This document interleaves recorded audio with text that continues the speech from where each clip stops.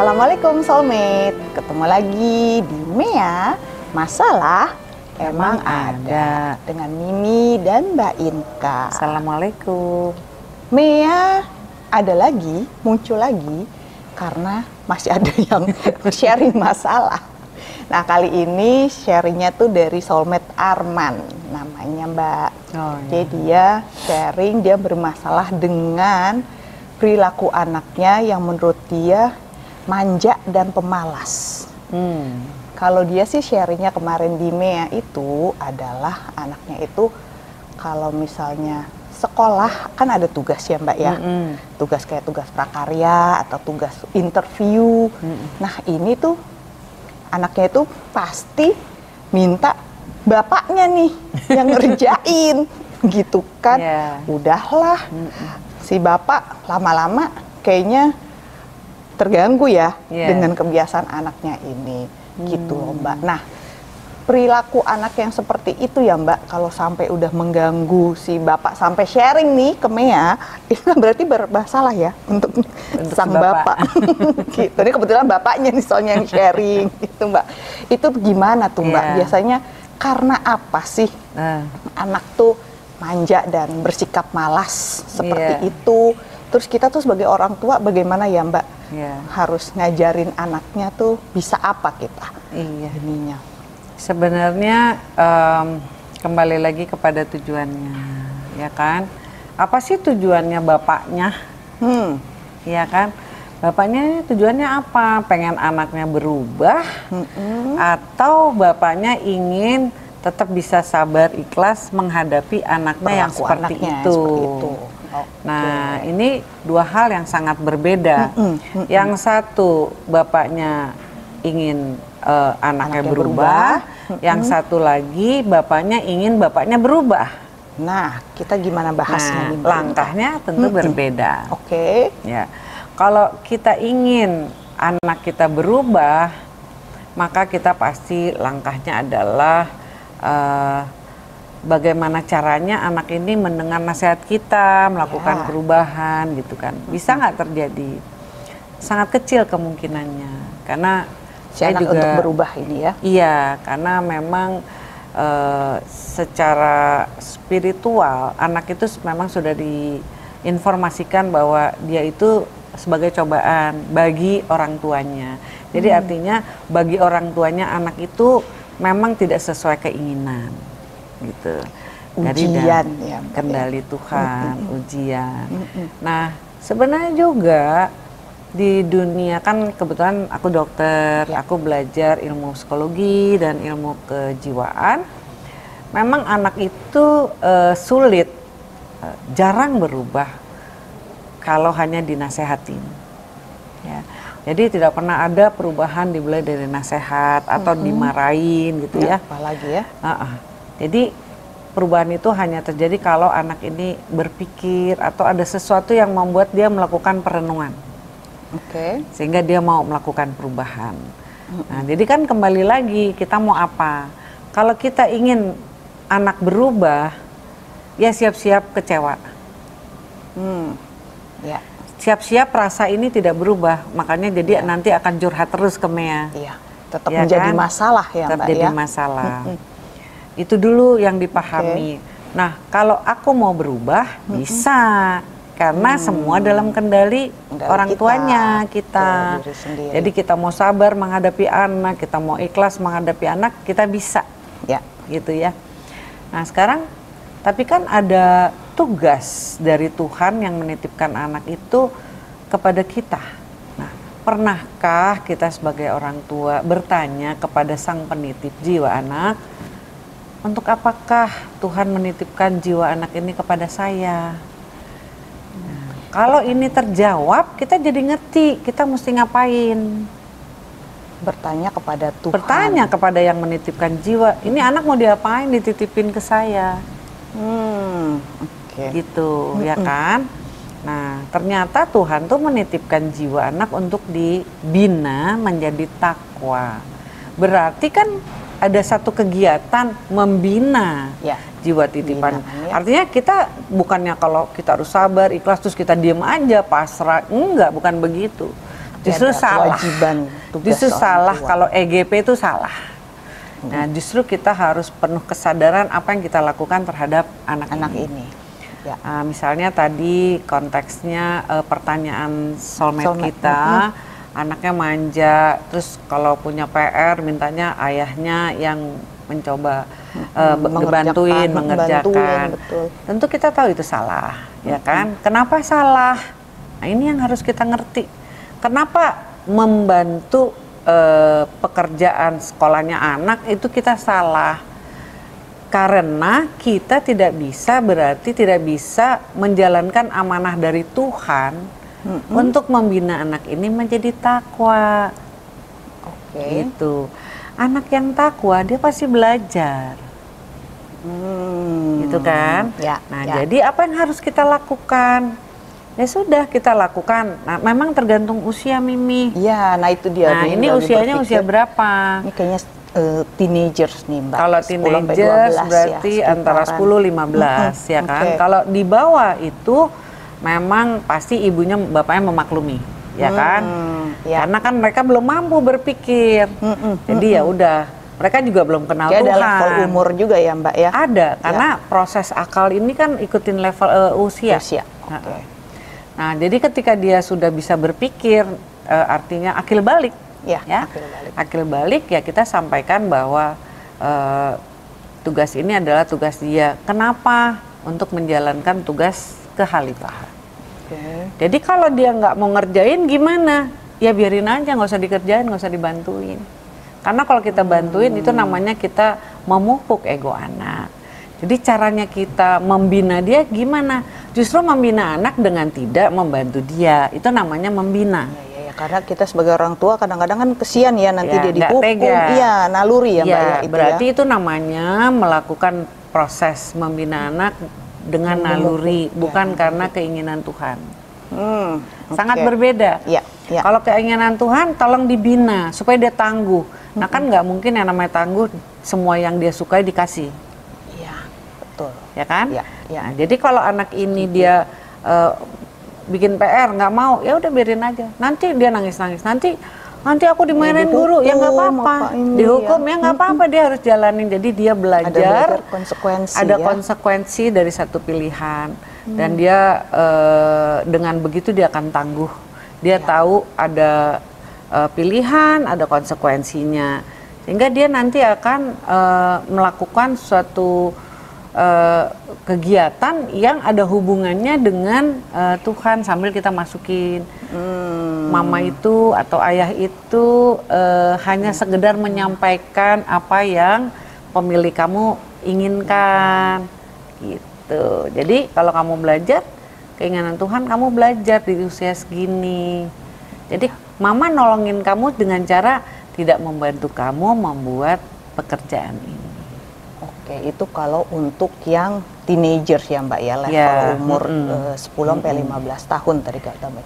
Kalau di atas 15 tahun Di atas Mbak, 15 itu tahun nggak mungkin Mbak? udah minta bantuan lagi sih. Iya, atau kalau yang lebih dewasa Mbak, itu gimana tuh Mbak cara mengajarkan, membinanya itu pasti udah lain Iya. lagi ya dengan umur yang tadi Iya, kita memang bahas sebelumnya. eh, ini sangat berbenturan sama persepsi lingkungan.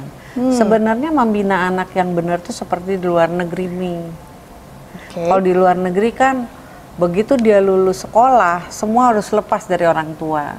Tidak menerima fasilitas tidak, dari orang tua maksudnya tidak, ya Mbak ya. Tidak. Kalau di sini kan kita karena pakai naluri, jadi semuanya bahkan ya udah kawin aja masih disupport sama orang tuanya. Ini kan Ya, banget. bukan banget. ini bukan membina ini menjerumuskan anak menjadi anak yang eh, tidak tangguh dalam hidup sementara Tuhan Oh. menitipkan anak supaya dia tangguh dalam hidup Iya, iya. Iya jadi ya, Mbak. produk dari anak-anak yang di, di- Dibina. diberikan Mm-mm. terus Fasilitas, egonya iya. dikasih fasilitas terus sangat berbeda dengan anak yang Dibiarkan mencari mandiri semua ya. sendiri sangat berbeda itulah kenapa pilihan ada sama kita kita mau apa di orang tua itu ya Mbak ya. di orang tua bukan di anak Iya, iya, iya. walaupun nantinya karena karena ada beberapa anak yang berpikir Mm-mm. tapi kan selama ini kita yang menyuplai ya Ya, kan Nah, betul.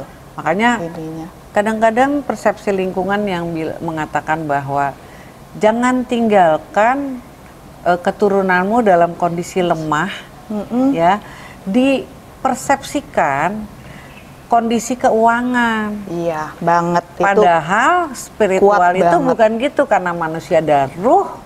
Jadi jangan tinggalkan dalam kondisi kalbunya yang jongkok. lemah ya Gitu. Makanya itu tugas orang tua untuk membina Iya. anaknya. Itu jadi kayak paket duo ya Mbak ya, membina Iya. anak jadi dia tangguh dalam Iya. menjalani kehidupan tapi secara mental, spiritual Iya. pun dia nggak jongkok Iya. gitu kalbunya ya Iya. Mbak, membantu anak untuk berpikir tadi ya Mbak. Iya, tapi jangan lupa dalam membina anak ada SOP-nya. Tidak tuh? marah, tidak menyakiti Hmm. hati mereka, Ya, tetap ya. tidak boleh melukai, tidak boleh ada pemaksaan, tidak boleh menghakimi, tidak boleh menyindir. Itu selalu dalam satu paket kita harus kafah.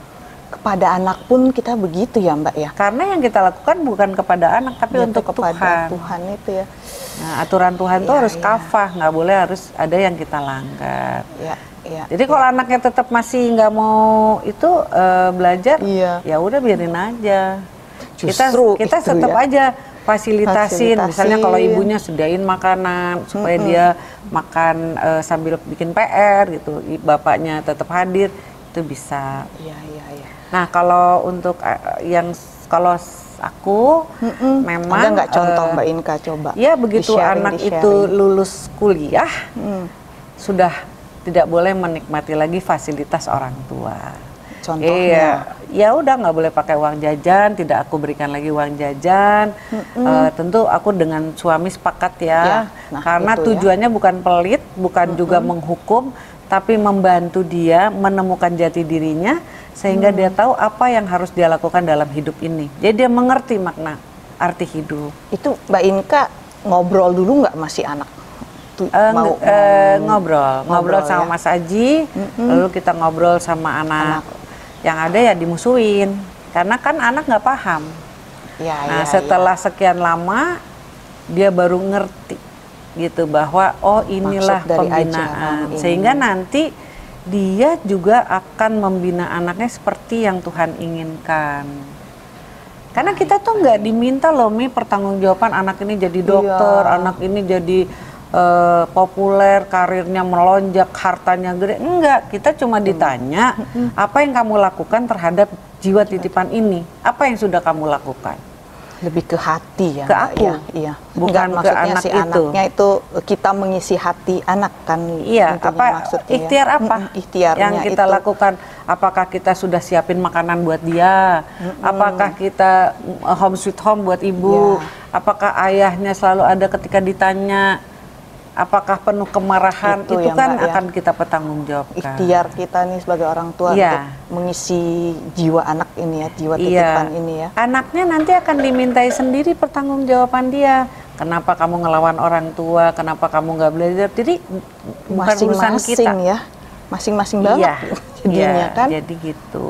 ya Nah, seperti itu. Jadi memang kalau kita mau melakukan satu atur, memberlakukan satu aturan, eh, kita harus tega oke karena kita harus konsisten. Tanpa Itu kekonsistenan, anak ini menjadi labil. Hmm. Nah, kita harus konsisten. eh, ini berlaku. Misalnya, kamu nggak boleh pakai mobil ya punya mama ayah, gitu. ayah ya kamu nggak boleh pakai mobil. Nah tiba-tiba ada satu kejadian yang dia harus pakai mobil. Oh sorry, nggak bisa.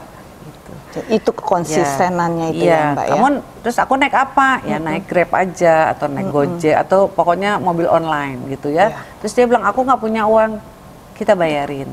Yang Oh, penting tetap oke. konsisten, kamu tidak, Tidak boleh menggunakan fasilitas. dari orang tua itu Ya, ya itulah eh, karena dalam membina anak ada dua, satu dengan kesadaran, Mm-mm. dua dengan reward and punishment. Umumnya anak-anak itu harus dengan reward and punishment, jarang dengan Lebih masuk, kesadaran. kalau yang tadi kesadaran Yang tadi, yang tadi yang eh, mbak reward and punishment. oh itu reward dan punishment juga ya mbak ya Iya, dan itu biasanya lebih eh, mudah Iya. diberlakukan juga mungkin ya Mbak ya? Nggak mudah. Nggak juga juga. Karena banyak penolakan. Karena memang kita berbeda sama lingkungan. Ya, itu jadi dia. jadi jadi masalahnya itu bukan bagaimana anak ke saya dia menolak dia marah. Bukan tapi bagaimana saya memenuhi keinginan sang penitip jiwa itu yang paling penting.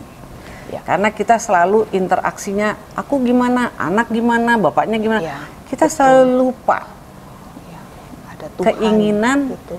yang menitipkan. Ya benar sih benar. Gitu. Jadi Ya. keinginan Allah itu tidak pernah menyusahkan kita nggak perlu uang kita. nggak perlu eh, sekolah mahal Hmm, ya, karena dia cuma bahas ya. minta anak ini dibina jadi, Jadi takwa, takwa. tangguh dalam hidup ketika kita menginginkan dia sekolah mahal lalu kita nggak mampu Hmm. dia pengen tapi yang terjadi tidak ada kemampuan dari orang tua anak ini jadi belajar tidak semua yang aku inginkan ternyata dalam hidup ini harus, Harus terjadi terjadi, dia akan tercapai. tangguh karena Hmm. hidup ini tidak selalu enak tidak selalu ada uang Ya. dan Ya. kita juga harus belajar dari situ. Jadi Tuhan itu menyuruh kita sesuatu, tapi jangan lupa Dia tidak pernah meninggalkan Melong- ya, kita. melepaskan. Allah memang menetapkan, tapi tidak pernah Allah meninggalkan kita. Jadi kalau kita dia. stres, terusik, nah ini indikator kita merasa Tuhan sedang tidak bersama kita. Indikatornya begitu ya Mbak jadinya iya, jadi ya. Sedih, Ya stres, pasti, bener. Kalang kabut nyari Iya. ke mana-mana gitu kan kemarin kita Mea juga udah mengangkat ya Iya. masalah Iya, sekolah ya, pengen yang mm, bagus tapi bagus, ah. finansial nggak ada. gitu. Iya. Mbak kalau tadi Mbak Inka ceritain gitu ya, itu kan Mimi juga pernah inget ya kita juga pernah bahas ya di Mea episode berapa Mimi juga lupa. Satu, Itu dua. Mbak- Inka ini oh satu dua ya Iya. pertama ya awal-awal Iya. ya. Mbak Inka menganalogikan itu kayak istilahnya kita punya rumah Di pinggir pantai. pantai. Nah ini anaknya kita mau bagaimana gitu kan? Kalau takut tenggelam. Mm-mm. Kita nggak mau dong anak kita tenggelam. Kita mau jagain terus si anak itu biar dia nggak main ke pantai ke laut takut tenggelam. Atau kita ngajarin anak ini berenang gitu ya Mbak ya. Istilahnya kan Iya, ini jadi kita iya. harus mengajarkan si anak ini berenang Iya. untuk bisa hidup Iya. ya Mbak ya. Tangguh dalam Iya. kehidupan. Iya, betul Ya. banget. Jadi intinya adalah selalulah bertanya apa keinginan sang pemilik anak terhadap kita, apa yang harus kita lakukan. Nah, itu ya yang sering luput untuk Ya, karena anak Ya. ini titipan. Ya, ya. Dalam segala hal bukan anak aja tuh ya Mbak ya. Bisa kita menghadapi masalah yang lainnya, kita bisa juga dong bertanya kepada Tuhan. ya, itu, kan. kalau bertanya, Mm-mm. tapi Ya. konteks kita kan sekarang ini lagi anak. anak. Iya, Jadi betul. anak ini kenapa dititipin Masalahnya aku? Mi, masalahnya anak ini salah satu bagian dari pahala yang mengalir sampai kiamat. Iya, betul. ini ya, harus Mbak, kita ya. sadari. Kan kita harus dari sekarang masa hidup gitu. Ya kan? Bener, iya ya, yang tiga Kan tiga.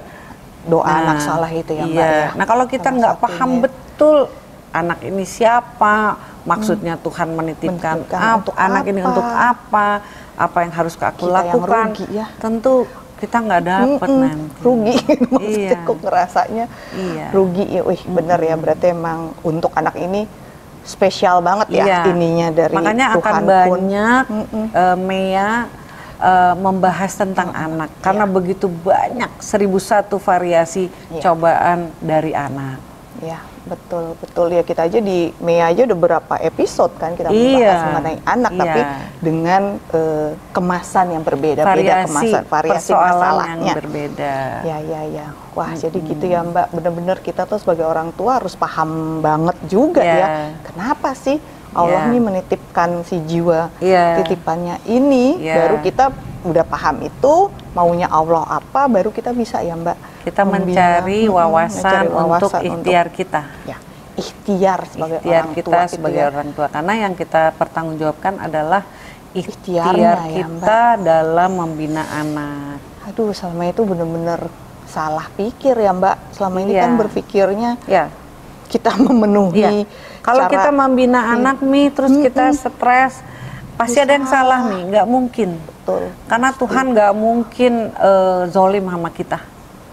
Tuhan selalu begitu uh, ya. memberikan kita tugas yang pasti kita mampu.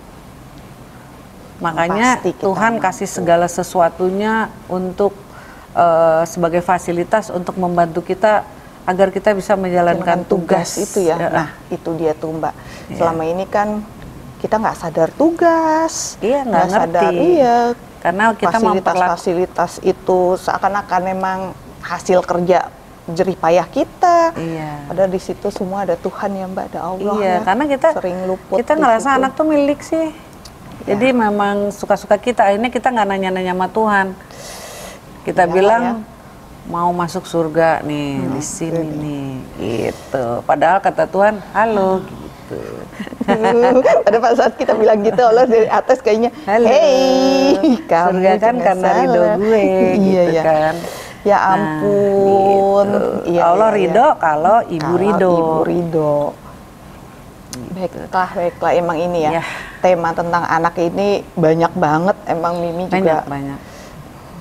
tahu banget ya Variasinya bahwa eh, banyak. variasinya banyak sekali gitu dan memang kalau misalnya lihat dari episode-episodenya Mea juga sharingannya komen teman-teman soulmate gitu kan itu juga tentang anak ini lu- luar biasa ya Iya. topik sharing topiknya juga eh, masukan dan Iya. mereka alhamdulillah bisa mendapatkan sesuatu dari sharing kita Mbak Inka. Iya, yang penting Iya, kita menyadari kita ini hanya ikhtiar dan jangan lupa banyak loh anaknya para nabi juga yang nggak soleh. Jadi kita eh, berupaya untuk eh, tidak mendikte Tuhan dalam memberikan eh, cobaannya kepada kita. Iya. Kita pasti Betul, sanggup betul. untuk Iya. tetap taat pada Allah dan Rasulnya. karena Allah memberikan ujian pasti Sesuai sesuai, dengan kesanggupan. dan kita pasti mampu Iya. kalau akunya mau ya Mbak ya. Ya jadi Mau sebenarnya belajar. ujiannya itu bukan anaknya mi. Iya. Ujian itu Ujian itu apakah cuma bentuknya dengan aja ya. anak Kita saya bisa, bisa tetap, tetap berperilaku selaras dengan kehendak Itu Allah. dia, Mbak. Benar, Jadi ujiannya benar. kita sendiri bukan anaknya. Anak udah Ah, benar. suka di kambing-kambing hitam kan iya, ya Mbak kan emang dari anaknya. Allah. Jadi memang anak tuh sebenarnya nggak cobaan kalau kita paham. Paham ya. Itu Karena dia, dia makanya kan dari kita Tuhan. memahami segala bentuk ujian yang ada di hadapan kita Iya. ya. terutama Jadi memang di ujung anak ini eh, siapa yang harus dirubah? Aku apa anak? aku Nah, iya, ternyata udah. orang tuanya yang harus Nah, banyak belajar. iya. Dengan anak dengan kita berubah, Berubah, sangat kita- mungkin betul. anak berubah. Oke, mangkidu, eh Iya. mangkisi makidu ya Mbak. Kalau Iya, misalnya ini ya kita iya, memperbaiki. iya. Karena anak gitu ya Mbak, dia ya itu tadi Mbak Inka juga bilang nggak bisa tuh berubah kalau kita nasehatin, apalagi nasihatnya pakai marah. Tapi kitanya aja dulu ya. Ya, Berubah tapi kan jangan dia lupa melihat. juga kita berubah bukan tujuannya untuk Bukan anak untuk berubah, merubah anak, betul. karena belum dia. tentu. Mudah-mudahan sebagai bonus Anaknya dia berubah. berubah. Tapi kalau nggak berubah nggak masalah. Para nabi pun anaknya banyak yang nggak berubah. Itu dia. Tapi Jangan nabi tetap dijamin surganya selama kita taat. Ya, itu ya Mbak kuncinya selama kita taat kepada seluruh perintah Allah dan Rasulnya. Iya. Itu ya Mbak Inka. Bagaimana soulmate Arman? Mudah-mudahan terbantu ya sharingnya ke Mea. Kita udah coba angkat berbagi wawasan di sini. Terus untuk soulmate-soulmate yang lain, jangan lupa Mea tuh ada di YouTube channel, ada di Spotify, ada di Facebook, ada di Instagram, juga ada di TikTok. Dan sampai dengan akhir Januari ini ya Mbak Inka, aku bantu Mm-mm. mengingatkan soulmate Iya. bahwa Mea lagi ada Mea giveaway. Coba deh soulmate intip sosmed-sosmednya Mea. Di situ banyak ada info-info details infonya bagaimana cara soulmate mengikuti Mea giveaway. Coba ya soulmate hadiahnya love banget kalau aku sih. Berlaku sampai kapan? Sampai akhir Januari Mbak. Makanya nih masih sempet Oke. banget. Kita baru mulai di minggu ini jadi silahkan ya soulmate di subscribe, di follow akun-akun sosial medianya Mea. Baiklah soulmate, kalau begitu Mbak Inka, kayak kita cukup panjang lebar ya Iya. membahas anak ini juga orang tua Anak ternyata akan habis-habis. bukan anaknya yang harus dirubah, akunya harus belajar supaya aku berubah Iya. ya merubah sudut pandang yang kemarin-kemarin kita pakai nih aku pakai menjadi sudut Iya. pandang spiritual.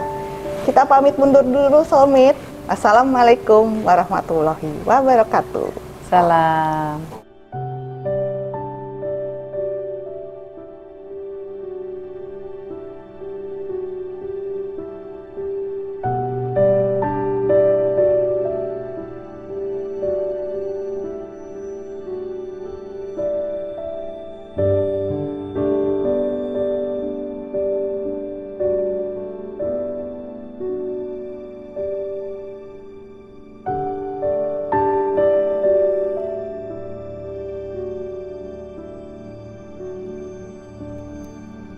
Sudah nonton episodenya Masalah Emang Ada?